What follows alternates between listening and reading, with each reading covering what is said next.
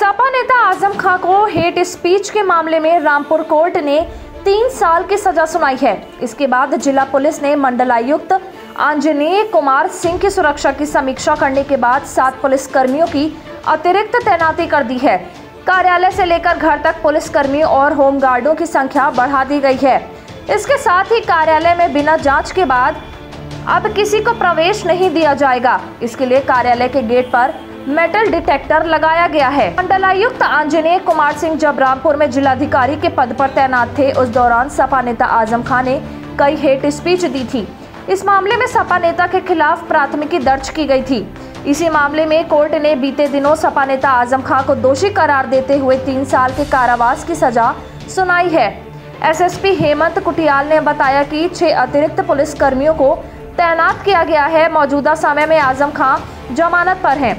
सजा होने के बाद से अचानक से मंडलायुक्त आंजनेय कुमार सिंह सुर्खियों में आ गए थे। बीते दिनों उनके घर से लेकर कार्यालय की सुरक्षा व्यवस्था की समीक्षा की गई।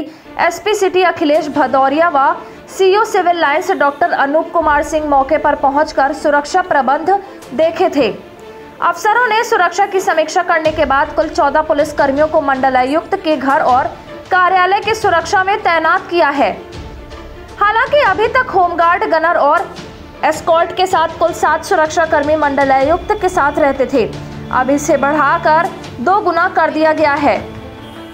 इसके साथ ही मंडलायुक्त कार्यालय के तीन दरवाजों से दिन भर फरियादियों और अधिवक्ताओं का आवागमन रहता था। अब केवल मुख्य गेट के छोटे दरवाजे से आवागमन को सुनिश्चित किया गया है।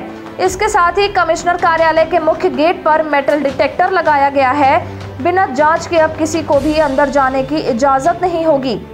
सुरक्षा बढ़ाए जाने को लेकर मंडलायुक्त आंजनेय कुमार सिंह ने कहा कि फैसला आने के बाद पुलिस ने समीक्षा करते हुए सुरक्षा बढ़ाई है।